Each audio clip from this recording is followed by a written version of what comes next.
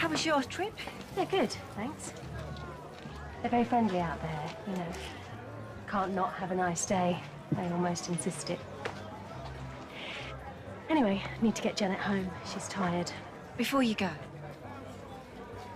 I wondered if you wanted your old job back, the day shifts.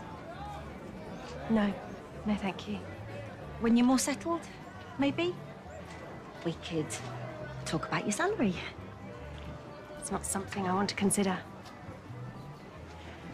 Right, let's go home, have a quick nap nap before the fireworks, yeah?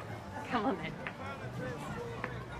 I haven't met some cold people in my life, but I would need a microwave to defrost your heart. Sorry, I've tried talking to her, but she ain't listened to me. Stace! Wait, Stace, I've missed you. looks like your lawyer took being called to the bar a little too literally. Yeah, I am not finished. This is the landlord, remember? Which is why I am sticking up for you.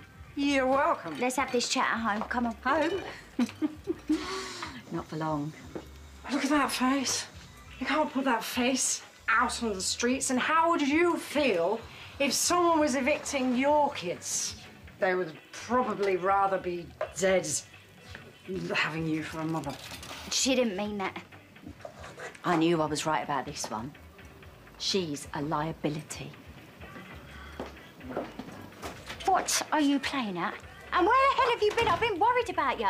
You've just been uh, just hanging with a friend. And you just thought today was the perfect day to turn up half cut and abuse the landlord. No, I have a meeting uh, with Magda.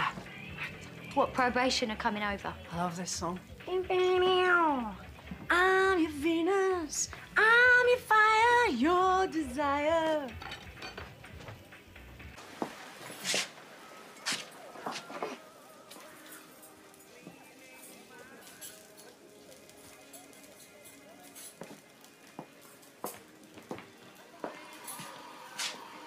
No sugar, semi-skimmed. Can I get you another one? No, thanks. Can I at least sit, honey? You can. But I've got to be somewhere else.